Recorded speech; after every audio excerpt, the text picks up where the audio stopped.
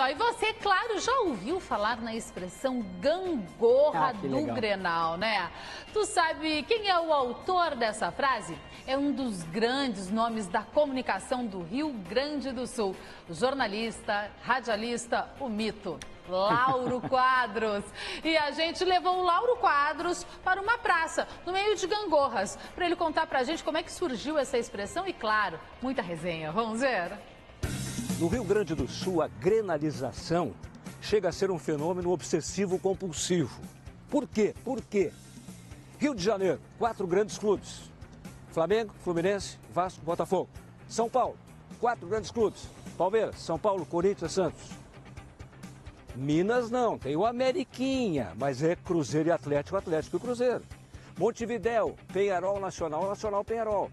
Buenos Aires, Boca River, River Boca. Na Espanha, embora tenha o clássico de Madrid, Real Madrid Atlético, hum, mas o, o combate na Espanha é Real Madrid e Barcelona. Então, aqui é Grêmio Inter, Inter Grêmio. O cara é colorado, antes de torcer pro Inter, ele é contra o Grêmio. O cara é gremista, antes de torcer pro Grêmio, ele é contra o Inter. Olha, não é fácil. E aí, um tá por cima, outro tá por baixo. Ah, aqui, ó, olha aqui só. O que, que eu achei? É, um tá por cima, o outro tá por baixo. O outro tá por cima e um tá por baixo. Pô, é a gangorra. Aí eu achei essa metáfora, achei que encontrando a gangorra eu conseguiria me comunicar com as pessoas e elas entenderiam perfeitamente o que estava acontecendo.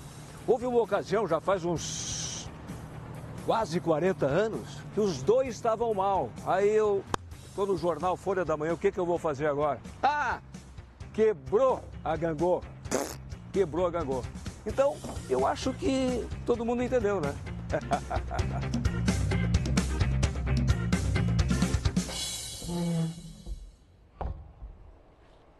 Que, que honra Cara, nossa ter o. Lauro Quadros aqui, Mandar hein? um grande beijo pro Lauro Quadros, sou fã do Lauro Quadros. Eu tô no jornalismo esportivo também por causa do Lauro Quadros. Eu sou fã do Lauro Quadros. Que eu legal. tinha que dizer isso na televisão e me emociona em dizer isso de verdade. Eu sou fã do Lauro Quadros. Que legal, olha só.